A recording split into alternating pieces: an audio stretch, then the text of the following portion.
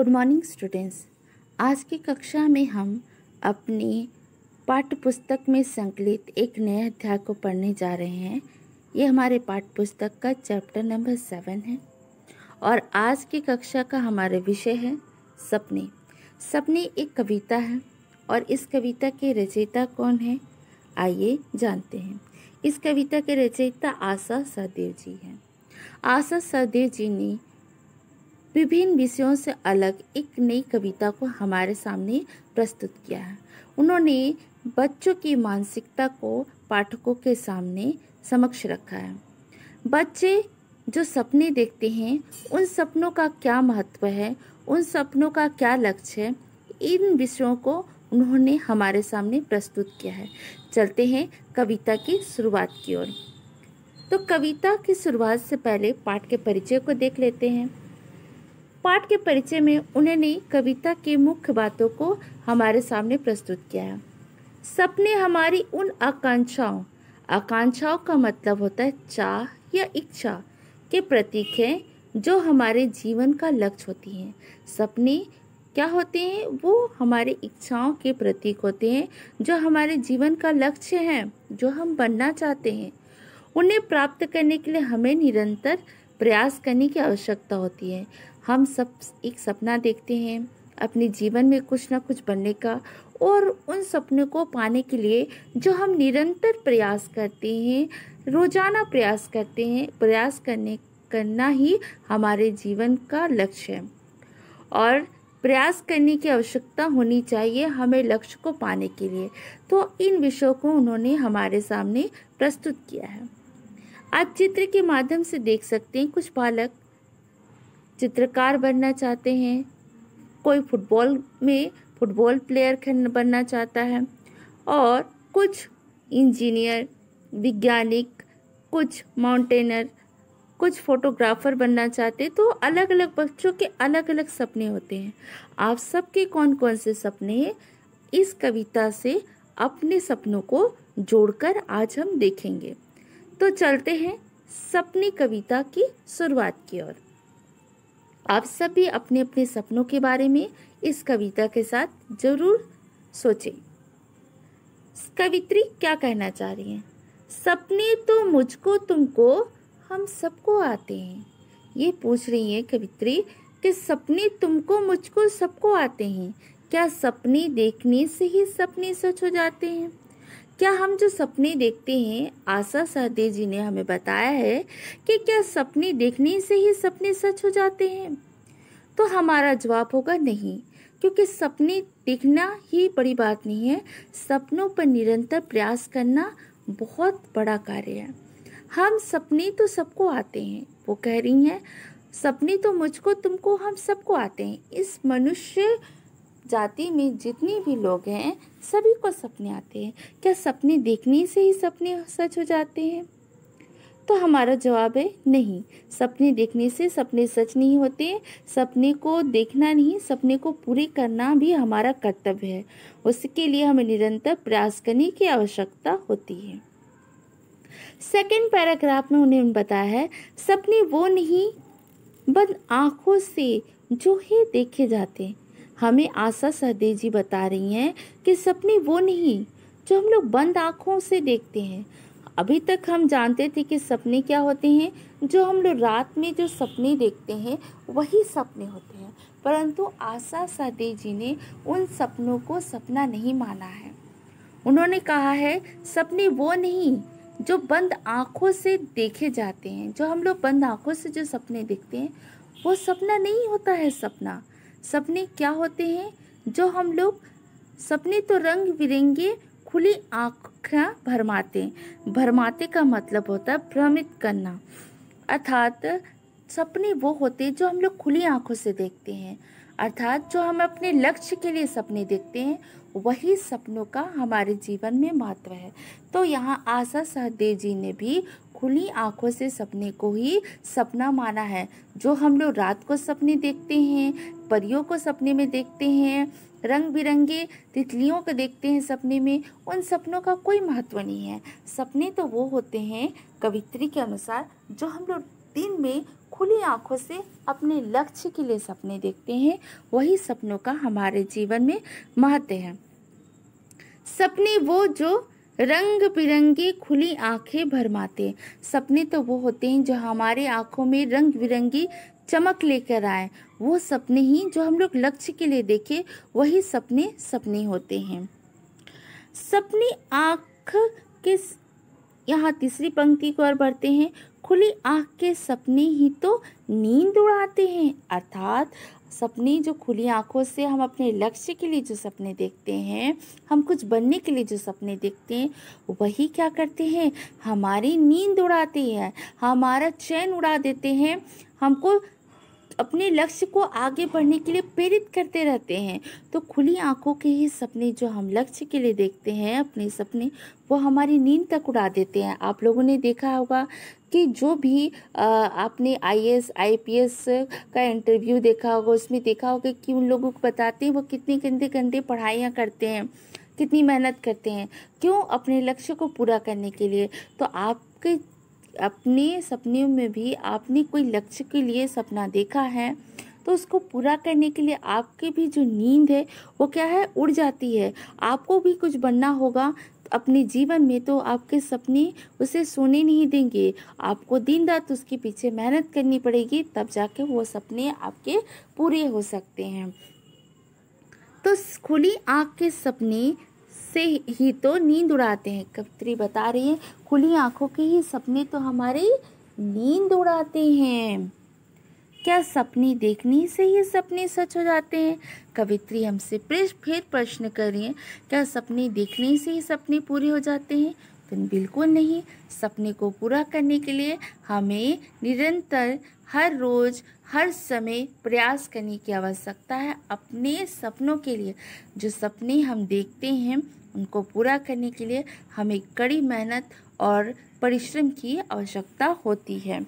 और वो सपने जो है, हमको ना हमारी नींद जो उड़ा देते हैं, हमको हमारी नींद, हमारा सपना जो है, हमको निरंतर आगे बढ़ने के लिए प्रेरित करते रहता है।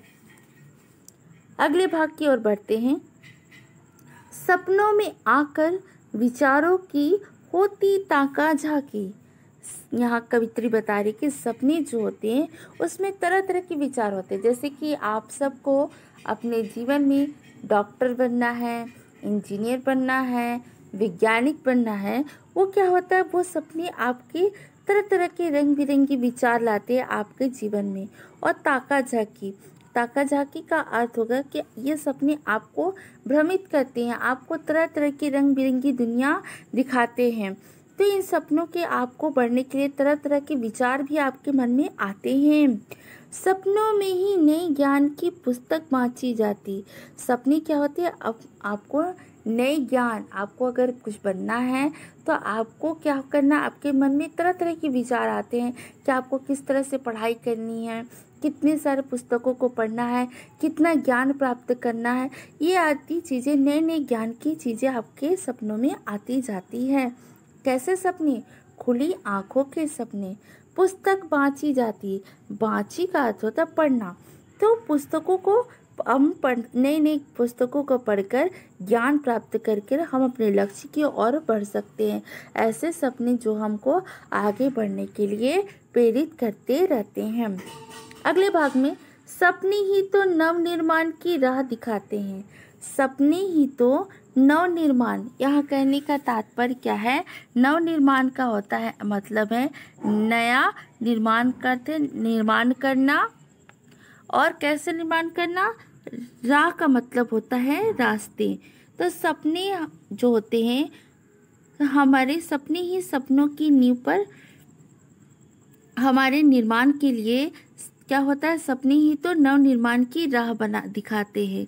तो सपने क्या करते हैं, हमें नए रास्ता, हमारे नए मोड़ को हमें दिखाते हैं, ताकि जैसे कि हमें इंजीनियर बनना है तो ये नया जो रास्ता है, इंजीनियर बनने का, ये हमें क्या करते नए रास्ते, सपने जो है, हमें दिखाते हैं। सपने तो मुझको, तुमको, हम सबको आते फिर कवित्री बता रही है, सपने तो मुझको, तुमको, हम सबको आते हैं।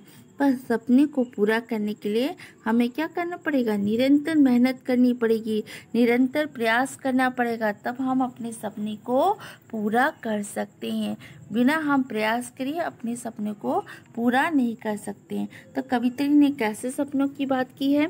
कवित्री ने खुली आँखों से सपनों की बात की है, जो हम अपने लक्ष्य के लिए देखते हैं। ऐसे सपनों का ही हमारे जीवन में महत्व होता है। बंद आँखों से देखे हुए सपनों का हमारे जीवन में कोई महत्व नहीं होता है। इन सपनों का कोई उद्देश्य नहीं होता है। परंतु जो हम अपने लक्ष्य के लिए सपने देखते हैं, उन्हीं सपनों का हमारे जीवन में महत्व है। तो हम लोग देखेंगे अगले भाग में क्या बताया जा रहा है। अगले भाग में देखते हैं। सपनी सच करने को पहले सपने होने चाहिए। कवित्री बता रही कि सपने को सच करने से पहले क्या होना चाहिए? सपने होने चाहिए। सबसे पहले अगर हमको कुछ बनना है तो उसके लिए तो हमारे एक सपना होना चाहिए ना कि हमें क्या बनना है। अगर आप लोगों से पूछा जाए, क्या बनना है आप सबको तो आप सब बताओगे, मुझे डॉक्टर बनना है, किसी को इंजीनियर बनना है, किसी को पुलिस बनना है। तो आपको बताया जा रहा है कि सपने को देखने से पहले पहले सच करने से पहले हमें क्या करना चाहिए? सपने होने चाहिए। आपसे अगर पूछा जाए, आपके क्या सपने हैं? अगर आप बोलेंगे, मेरे कोई सपना ही नहीं है तो आप उस सपने को पूरा कैसे करेंगे? तो सबसे पहले सपनों को सच करने के लिए आपके पास सपने होने चाहिए। सपने सच करने के पहले सपने होने चाहिए। ठीक उसी प्रकार फल खाने की अगर तमन्ना हो, तमन्ना का अर्थ होता है इच्छा। अगर हमें जो फल खाने की इच्छा हो तो बीज तो बोने चाहिए तो उसके पहले हमें क्या करना चाहिए? बीज बोने चाहिए। अगर हम लोग मेहनत ही नहीं करेंगे और सिर्फ़ सपनों में देखते रहेंगे कि हमें ये बनना है, वो बनना है तो उस तरह के सपने पूरे नहीं होते हैं। सपने को पूरा करने के लिए मेहनत करनी आवश्यक है। अगर आज हम लोग मेहनत करते हैं तो कल हम कुछ बन सकते हैं। तो वही कहा जा रहा है कि फल खाने की अगर इच्छा हो तो हमें क्या सबसे पहले बीज बोना चाहिए। अगर हम बीज ही नहीं बोने तो फल कैसे खा सकते हैं? नहीं खा सकते हैं। इसीलिए आशा साडे जी ने सपनों को महत्व देते हुए कहा है कि सपने सच करने से पहले आपके पास सपने होनी चाहिए। अगर आपके पास सपने ही नहीं है तो सपनों का कोई मतलब ही नहीं है। अगर सपने को, अगर आपको पूरा करना है अपने लक्ष्य को, इससे पहले, सबसे पहले आप सपना देखें। उसी प्रकार जैसे बीज, फल खाने की इच्छा हो तो उससे पहले बीज बोना बहुत ज़रूरी है। अगर बीज ही नहीं बोलेंगे तो आप फल कैसे खा सकते हैं? आगे भाग में बताया जा रहा है। इससे पहले हम थोड़ा सा एक बार रिवीजन कर लें। कवित्री ने यहाँ पर सपनों को महत्व दिया है। सपनों को, कैसे सपनों को, जो खुली आँखों से हम सपने देखते हैं, उनका महत्व उन्होंने इस कविता में बताया। वो बता रही है, सपने तो मुझको, तुमको, हम सबको आते हैं। क्या सपने देखने से ही सपने सच हो जाते हैं? कवित्री हमसे पूछ रही हैं कि सपने तो हम सबको आते हैं, परंतु सपने को सच, सपने तो देखने ते ही हैं, पर सपने देखने से ही सच हो जाते हैं। सपने को देखने से ही सपने सच नहीं होते हैं। उसको पूरा करने के लिए हमको कड़ी मेहनत करने की आवश्यकता है। सपने वो नहीं, बंद आँखों से जो देखे जाते हैं। कवित्री बता रही हैं कि सपने जो वो नहीं, जो हम लोग रात को देखते हैं। सपने वो होते हैं जो हम लोग खुली आँखों से अपने लक्ष्य के लिए जो सपना देखते हैं, उसी सपने का हमारे जीवन में महत्व है। सपने जो, वो जो रंग बिरंगे खुली आँख भरमाते हैं। सपने वो होते हैं जो रंग बिरंगे होते हैं। हमें खुली आँखों से जो हम आँख सपने देखते हैं, जो हमारी खुली आँखों में जो सपने तैरते हैं, वही हमारे सपने सच होते हैं। खुली आँखों के सपने ही तो नींद उड़ाते जो हमारे लक्ष्य के लिए सपने देखते हैं, वही तो हमारी नींद उड़ाते हैं। क्या सपने देखने से ही सपने सच हो जाते हैं? तो सपने देखने से ही सपने सच नहीं होते हैं। उनको पूरा करने के लिए हमें कड़ी मेहनत की आवश्यकता है। सपनों में आकर विचारों की होती ताका झाकी। सपने में आकर नए नए विचार की ताका झाकी हमारे सपनों में होती है। सपनों में ही नए निर्माण की पुस्तक बाँची जाती। जब हम कोई लक्ष्य के लिए सपने देखते हैं तो उसमें तरह तरह की पुस्तकें हम किस तरह से अपनी तैयारी कर सके, कैसे अपने लक्ष्यों को पूरा कर सकते, कैसे अपने ज्ञान का विकास कर सकते, क्या पढ़ने से हमारे ज्ञान का विकास हो, इस तरह की बातें हमारे दिमाग में आती है, हमारी मस्तिष्क में आती है, इस तरह की बातें। तो आप सभी अगर कोई सपना देखते तो सोचते हैं ना कि हमें कैसे पढ़ाई करनी है, कैसे अपने लक्ष्य को पूरा करना है, इन सब बातों को कवित्री ने महत्व दिया है। सपने ही तो नव निर्माण की राह दिखाते हैं। सपने जो होते हैं, नए रास्ते का निर्माण करने में सहायता करते हैं, जो हमारे लक्ष्य तक हमको पहुँचा सके। सपने तो मुझको तुमको, हम सबको आते हैं। कवित्री फिर बोल रही है, सपने तो हमको, तुमको सबको आते हैं, पर सपने देखने से ही सपने सच नहीं होते, उनको कड़ी मेहनत की आवश्यकता है। सपने सच करने से पहले सपने होने चाहिए। सपने को सच करने से पहले क्या होना चाहिए? सपने होने चाहिए। जिस प्रकार फल खाने की अगर तमन्ना हो तो हमको सबसे पहले मेहनत करनी चाहिए, यानी कि बीज बोने चाहिए, तभी तो हम फल खा सकते हैं, फल का आनंद ले सकते हैं। अगले भाग में हम देखते हैं, सपने ही सपनों की नींव पर पैर जमाते हैं। कहने का ता, क्या तात्पर्य है कि सपने ही तो सपनों की नींव पर पैर जमाते हैं। अगर हमने कोई सपना देखा है तो हम क्या करते हैं? अपने सपने पर अगर हर दिन मेहनत करें तो हमारे सपने की नींव जो है, वो क्या होती तैयार हो सकती है। जैसे सपने ही सपनों की नींव पर पैर जमाते हैं, इस पंक्ति का क्या तात्पर्य है कि हमारे सपने ही हमारे उस सपनों की नींव को मज़बूत बनाते हैं जो हम देखते हैं। जैसे कि हम इंजीनियर, डॉक्टर बनने का सपना देखें तो हमें क्या करते हैं? ये सपने मज़बूत बनाते हैं। ये सपने हमको आगे बढ़ने के लिए प्रेरित करते हैं। सपने देखने के बाद ही तो हम उन्हें पाने के प्रयास करते हैं। अर्थात कुछ पाने के लिए उसके बारे में सोचना ज़रूरी है। कवित्री का कहने का तात्पर्य कि सपने क्या करते हैं? हमें सपनों अपने लक्ष्य को पूरा करने के लिए ये हमें मज़बूत बनाने का कार्य करते हैं। पर क्या सपने देखने से सपने सच हो जाते हैं? तो सपने देखने से सच नहीं होते, सपने पर कड़ी मेहनत की आवश्यकता होती है। यहाँ उन्होंने बच्चों को प्रेरित किया है अपने लक्ष्य को पाने के लिए, अपने सपने को पूरा करने के लिए। यदि चाहते हो जीवन में बड़ी ऊंचाई पाना, कदम बढ़ा के आगे फिर ना पीछे को ले आना कहने का क्या तात्पर्य है कि यदि तुम जीवन में कुछ बड़ा पाना चाहते हैं, अपने जीवन में ऊंचाई को पाना चाहते हैं तो क्या करना चाहिए कि कदम बढ़ाकर आगे, पीछे, फिर ना पीछे को ले आना। कभी भी अपने कदम पीछे नहीं लाना चाहिए। जिस प्रकार हमने सलीम अली को देखा था कि सलीम अली पक्षी वैज्ञानिक थे, उन्होंने पक्षियों को जांचने के लिए निरंतर मेहनत किया था और किस प्रकार वो नदी, पहाड़, झरने का, जंगलों का फ़िक्र ना करते हुए निरंतर आगे बढ़ते जाते थे। किसी भी कठिनाई पर आने पर भी वो घबराते नहीं थे। तो कवित्री भी उसी तरह बच्चों को कहती हैं कि आपके जीवन में भी कोई कठिनाई आए, कोई भी संकट आए, उससे घबराए नहीं। अपनी की कदम जो है, वो कभी पीछे न हटाएँ। अपने लक्ष्य के लिए आगे बढ़ते जाएँ और कभी भी अपने को पीछे ना अपने लक्ष्य से पीछे ना हटाएँ, क्योंकि जिस तरह से हम अगर अपने लक्ष्य से हार जाएँगे तो वो कभी भी आगे नहीं बढ़ पाते हैं। तो उन्होंने आग्रह किया है बच्चों से कि कभी भी अपने कदम पीछे मत हटाइएगा।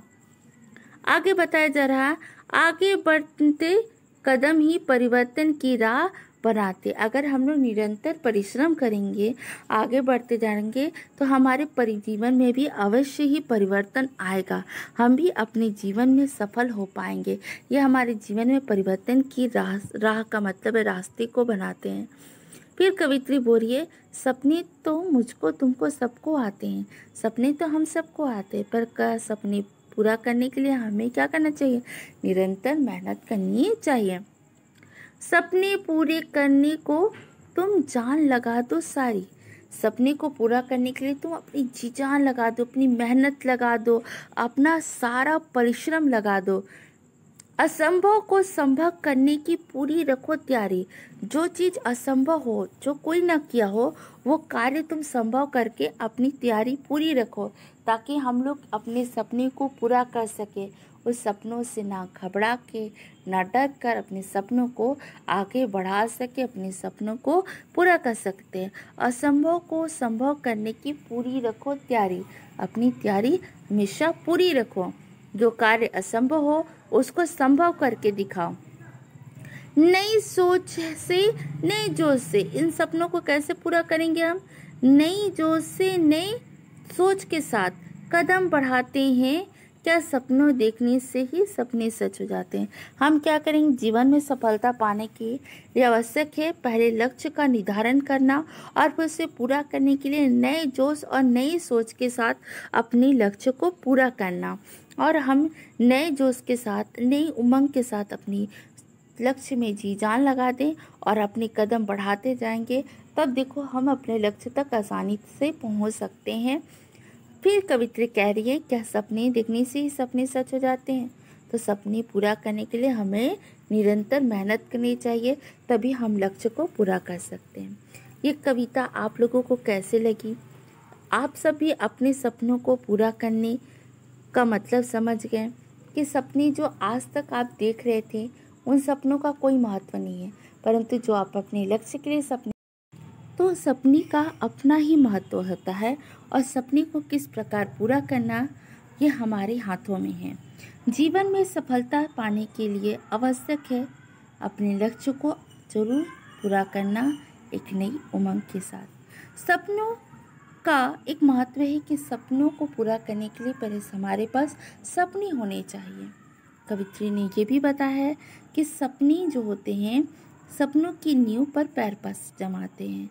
तो हमारे सपने जो हैं, हमारे उन सपनों की नींव होते हैं, को मज़बूत करते हैं। सपने जो होते हैं, हमको और आगे बढ़ने के लिए प्रेरित करते हैं। जो हम देखते हैं सपनों में, सपनों देखने के बाद जो हम उन्हें पाने के जो प्रयास करते हैं, मेहनत करते हैं, अर्थात कुछ पाने के लिए उनके बारे में सोचना ज़रूरी होता है। उस सोच को हम अपने सपनों के, को बढ़ने में अपने सपने को पाने में सहायक पाते हैं।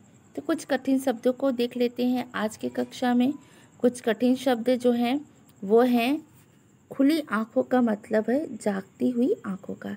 बरमाते का अर्थ होता भ्रमित करना, वाचना का अर्थ होता पढ़ना नव निर्माण का अर्थ होता नया निर्माण। तमन्ना का होता इच्छा, जान लगाना मतलब पूर्ण प्रयास करना। पहला हमारे पास प्रश्न है, वास्तव में सपने किसे कहते हैं? वास्तव में सपने हमने अभी पढ़ा, जो खुली आँखों से हम देखते हैं, वही हमारे सपने होते हैं। किस प्रकार के सपने हमारी नींद उड़ाते हैं? तो खुली आँखों से देखे जाने वाले सपने हमारी नींद उड़ाते हैं। सपने सच करने के लिए हमें क्या करना चाहिए? सपने सच करने के लिए हमें पूरी जान लगा देनी चाहिए। हमें किस प्रकार के किस प्रकार आगे बढ़ना चाहिए? हमें नई सोच और नई जोश के साथ आगे बढ़ना चाहिए। कविता में, सपने से क्या अभिप्राय है? उच्च आकांक्षाएँ, विचार या कल्पना? तो उच्च आकांक्षाएँ। सपने किसकी राह दिखाते हैं? नए सपनों की, नवनिर्माण की, परिवर्तन की। तो नवनिर्माण की हमने जाना था। और यह आपका गृह कार्य है। इस पंक्तियों, कविता की पंक्तियों को अपने गृह कार्य गृह कार्य में आप रखेंगे। तो आज की कक्षा को मैं ही विराम देती हूँ। आप सबको ये कविता कैसे लगी? इस कविता का अभ्यास हम करेंगे। अपने गृह कार्य में आज की कक्षा को मैं ही विराम देती हूँ। धन्यवाद।